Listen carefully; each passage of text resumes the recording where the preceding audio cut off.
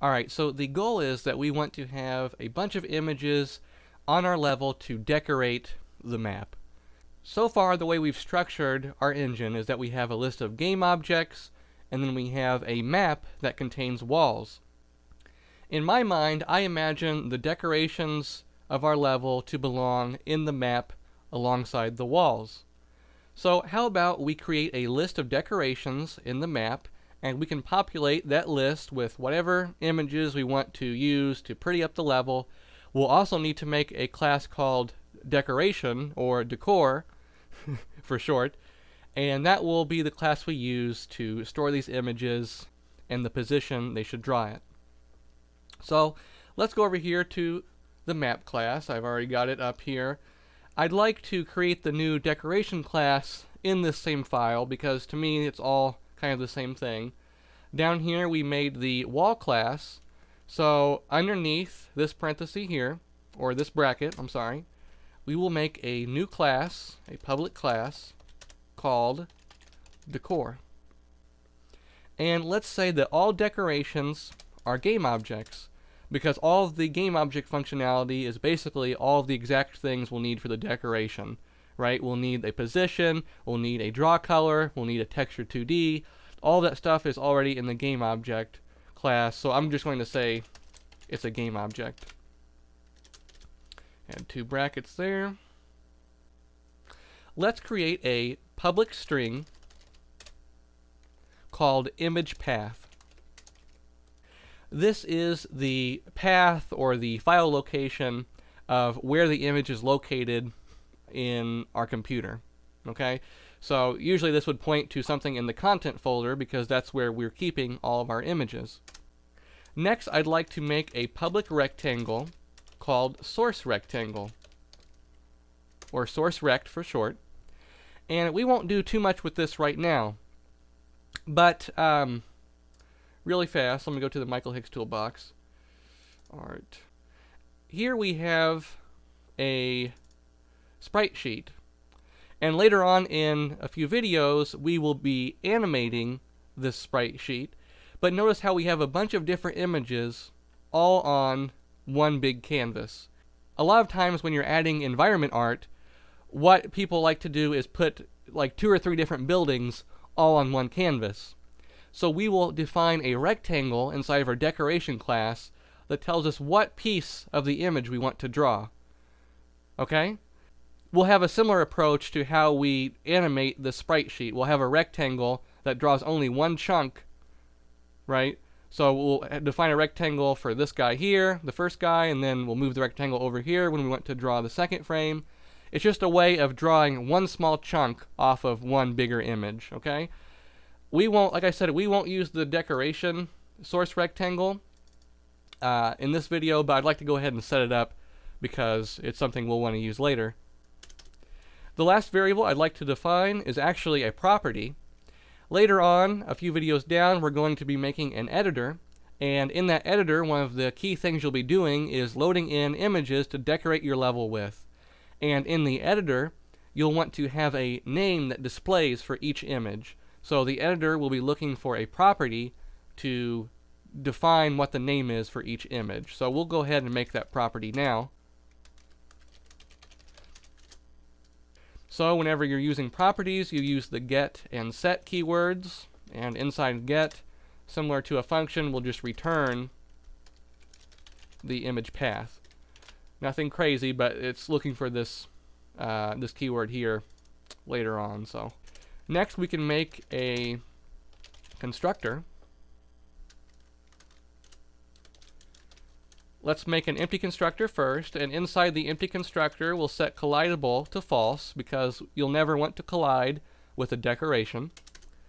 Next, we'll make another constructor, but this one will have a few parameters that we can pass in. The first parameter should be the input position, where we want the decoration to be positioned at. The next one will be an input image path. This is the location of our image, where we want to load it from. And then finally, we'll have input depth. We'll want to be able to customize the depth for each one of our decorations because sometimes we'll want one image to draw in front of another image. Uh, we want to make sure that's easily changeable. In here, we'll just set everything that was passed in. So position equals input position, image path equals input image path, and depth, or layer depth, I'm sorry, equals input depth. Let's also set active to true. All decorations should start out being active, and also, like in the other constructor, set collidable to false. Next, we're going to create a new type of load function. Remember, in the past, we've been overriding the load function we defined in GameObject and just adding new functionality. I'd like to create a brand new load function that takes in two parameters instead of one. So let's say public. Let's make it virtual. Public virtual void load will take in a content manager and also the name of the asset that we want to load. So the reason that we are using a variable here to load in the path of our image is because potentially we can load a whole range of different images to be our decoration. In the past, whenever we've loaded in an image, we've always hard-coded it to say load in sprite, that specific image. But decorations are a little more flexible there's a whole list of things we could load in, and it would be a big pain to sit here and hard code every single path for the decoration image, okay?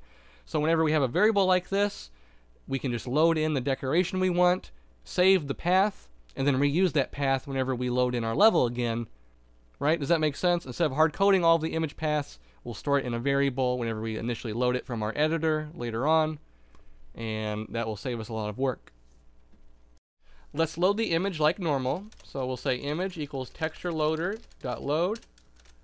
We'll pass in the asset for the file path and then the content manager for the content manager. Let's set the name of the image to be the asset string. That way we are storing where this image is located in the name of the texture 2D. That'll be handy. Next, we can set the bounding box width to be the image width and the bounding box height to be the image's height. It's good to do this immediately so all this bounding box stuff is up to date. And then finally, if our source rectangle is equal to rectangle.empty, that means nothing will be drawing if the rectangle is 0 pixels tall, 0 pixels wide, and it's at 0, 0, x and y location, nothing's going to show up. So we want to define the rectangle that we want to draw to be new rectangle. We'll start it drawing at the top left of the image at 0, 0, and we want the rectangle to be the entire width of the image.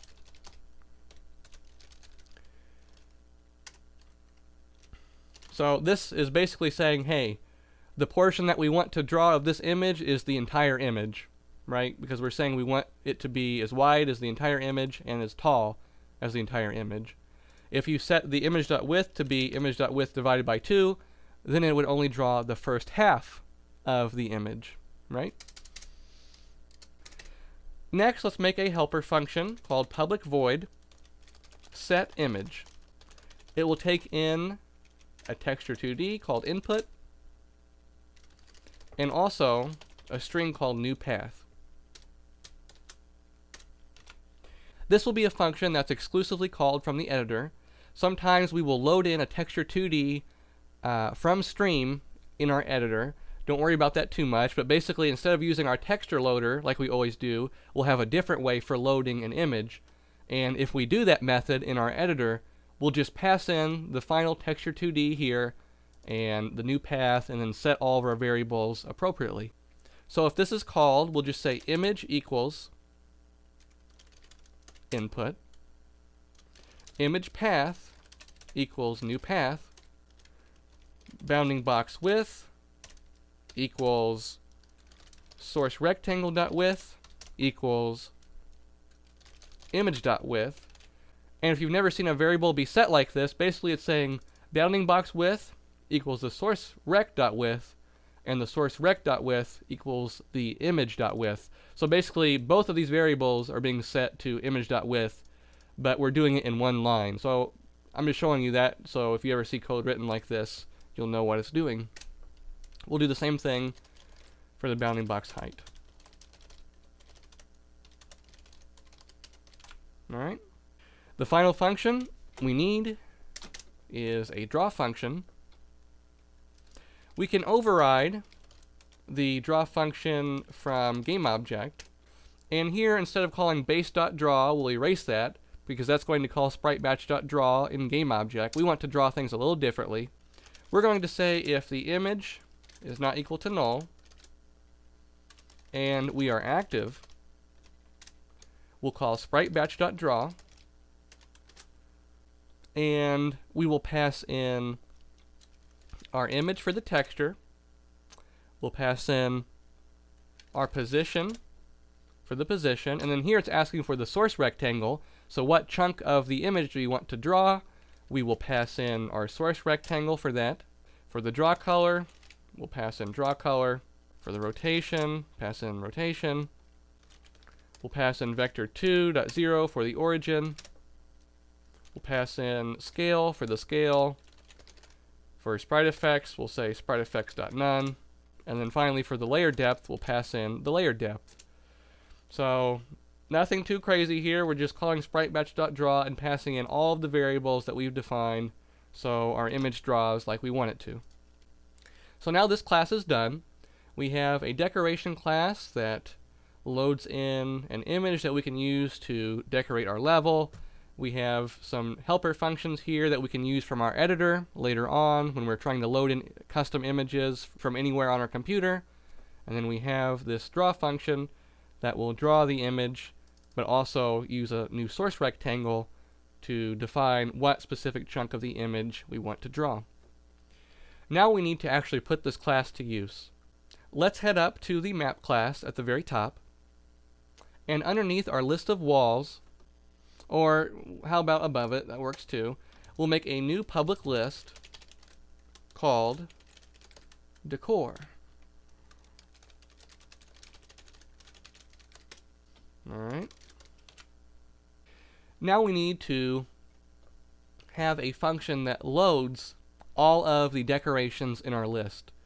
So because this will be called every time we load a new level, I say let's create a new load function called load map and this will take care of loading the decorations.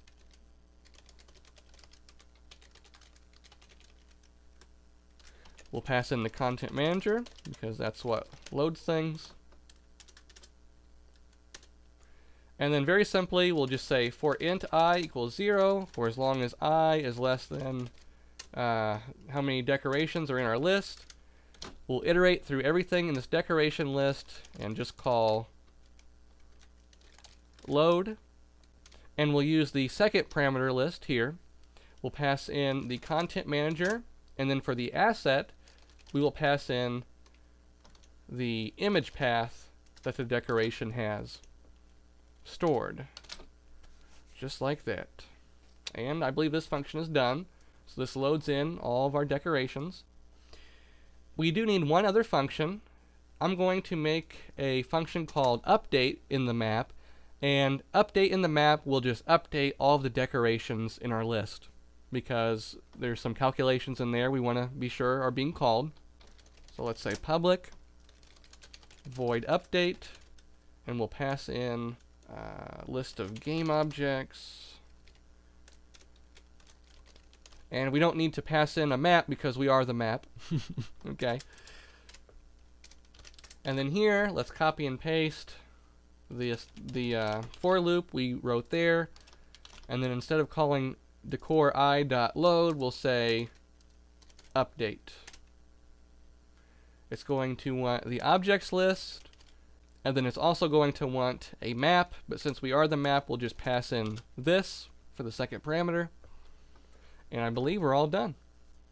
Now we need to actually call all of these functions we've wrote inside map. So let's call update. In game1.cs, we can go up to the update function, and right after the update objects call, let's say map.update, passing in objects, and then down here, where we say load level, right before we call load objects, we can call map.load map, and this will load in all of the decorations that we have in our level, but right now, oh, oops, capital C on that. But right now, we don't have any decorations in our level. So how about we fix that? Let's just add one background image that will draw behind all of the characters. So underneath these walls, I'm going to press enter. I'm going to say add decor. And then we'll just say map dot decor dot add new decor.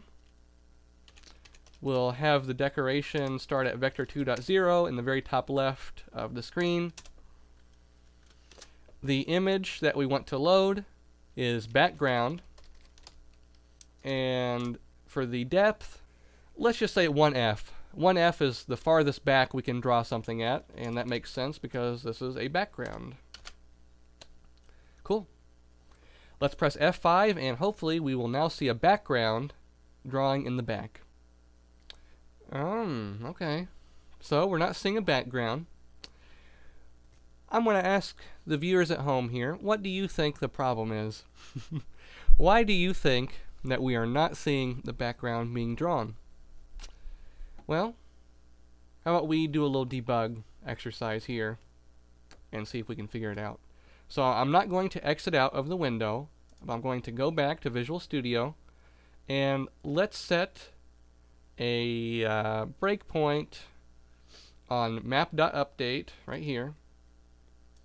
And as soon as it turns yellow, I'm going to hit F11 and go inside of the function. Let's see if there's anything inside of this. Yep, there's one thing inside of the decoration list. Hmm. So it looks like the decorations are updating, Ah, but they're not drawing, are they? Because here we're calling draw walls, but where do we actually call draw on the decorations? Yeah, we don't do that. Right? This list, decor, we call load, we call update, we never call draw. So, I'm going to hit the stop button at top there, and this is a very easy fix we basically just need to decide where we want to call decor i.draw and iterate through the list and all of that stuff. I'd say that the best place for this is back in the game1.cs class. Down here we have the draw objects function, and that's where we iterate through and draw all of the objects. Since decorations are technically game objects, they inherit from game object, we just separate them into different lists. I'd say it makes sense to just call that here. Alright, so I'm going to copy and paste that for loop, and instead of going through objects.count, let's say map.decor.count, and for every decoration in the list, we'll say map.decori.draw. Alright, simple enough. Let's press F5. Yep, and there we go. We have a beautiful background and it's starting to look like a game. We can blow up this guy. but there is one thing missing. If you remember back to the beginning of our little crusade here, uh, I talked about how I wanted to have a scoreboard on the window. And the score will increase every time we blow up an enemy. So I'd like a way to do that, the, a way to have a score or a heads-up display that shows our score but let's think about this for a second. In the future, we're going to add a camera to our game, and the camera will let us move around in the level. The camera can focus on different sections of the level and leave other parts of the level not seen at all, right? So if we draw our scoreboard inside of the game world, it's possible that we can walk off the screen and never see it. So uh, to explain what I mean, let's imagine that we're drawing the score on top of this black box that's floating in air.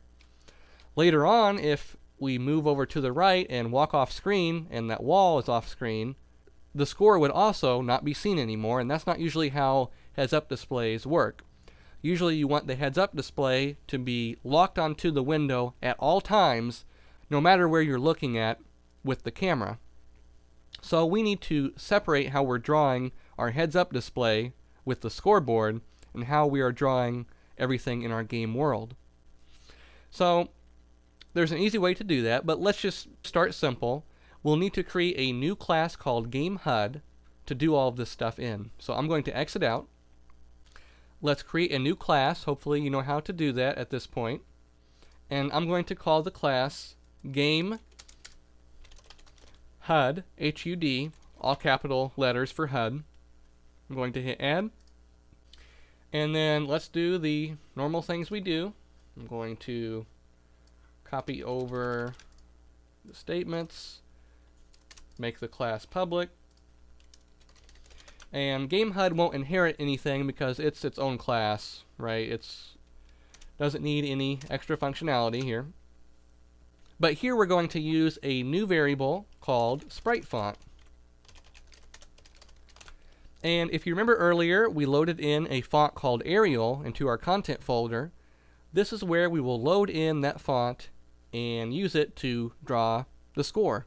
So obviously fonts are used to draw text or numbers, and sprites fonts work similarly to sprites. It's an image, but instead of being like a person or a building, it's letters and numbers that will make up text. All right? So underneath the sprite font, let's make a public void called load. Let's pass in the content manager content. And here we will load the sprite font using that. Let's say font equals content.load. Inside of these arrows, we will define the asset that we're loading as a sprite font. For the path, we put the font inside of the fonts folder. So we'll preface this with fonts backslash backslash and then the name of the file, which is Arial with a capital A. That will load in the font, and then below we'll make one more function called public void draw. We'll take in a sprite batch.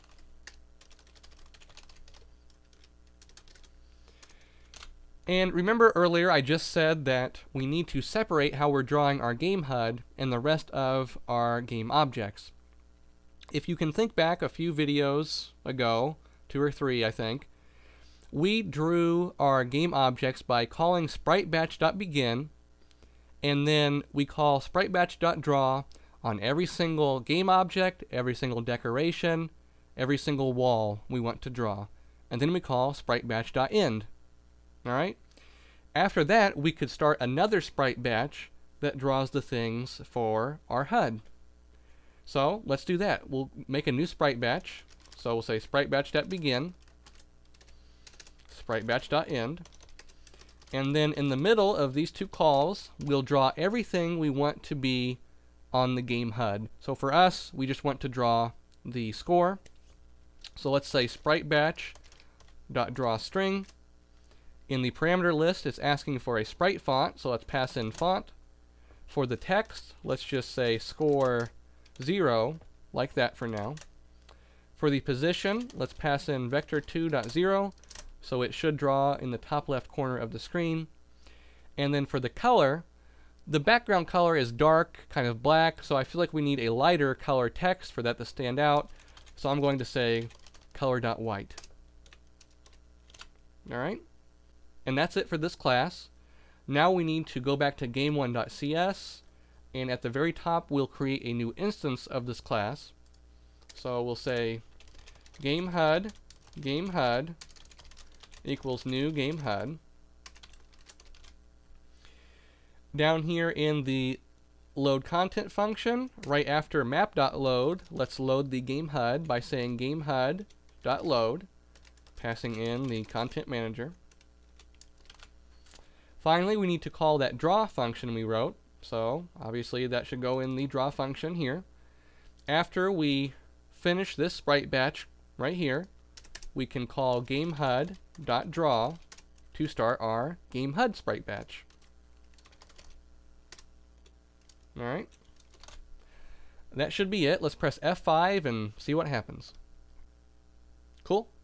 So, at the very top left corner, we see score 0, which is what we wanted. But it's not quite working. If we blow up the guy, the score stays at 0. And if you were playing this game as a gamer, you would be very frustrated. you'd probably rage quit right now. I'm killing the guys, but I don't get any score. So, let's fix that. Let's exit out of the window. And we need to define a variable to store our score. And since the score belongs to the player, I'm going to say that it should go inside of player.cs. And additionally, since the score will be accessed in the game HUD, and I imagine this is a global type of variable we would want to use all throughout the code, I'd say this is a good time to make the variable static. And if you don't remember, static means you can access this variable from any class, anywhere in the code, and it always stays in memory. So this seems like an appropriate time to use it. So I'm going to say public static int score. Whenever we initialize a player or we restart the level, initialize will be called, and I imagine we want to set the score to zero you always start playing a game with the score at zero, usually, unless you're making some type of new game that doesn't do that.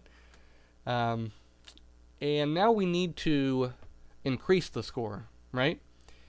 When do you think we should do that? Well, we should increase the score whenever an enemy is destroyed.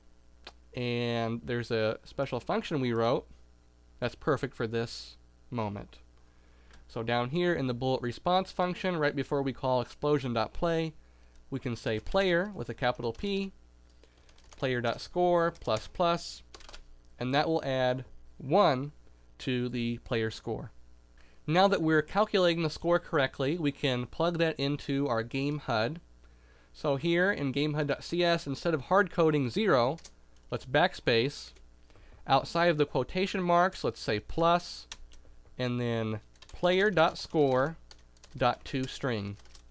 And that's going to take this int and convert it to a string that can be added to the string we defined here. Alright? So let's press F5 and see what happens. Alright, score is still drawing. And the score is now 1, 2, 3, 4, 5. okay, I'll stop but yeah, it's, it's working. It's working appropriately.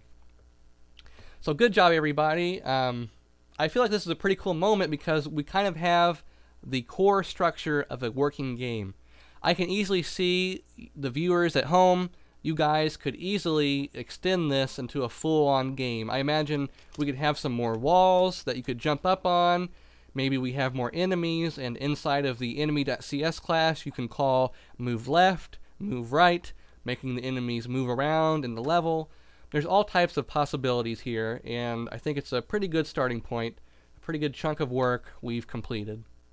So good job. I know this video was um, a pretty epic quest, I guess you could say, but I think it's it's paid off, right? We, we got a lot of stuff done, and we're starting to see a game form here. So I hope you enjoyed it, and in the next video we're going to add a few things, such as a camera, that lets us move around in the game world and focus on different parts of our level. So I hope that's caught your interest and you'll tune in for the next video. I'll see y'all there.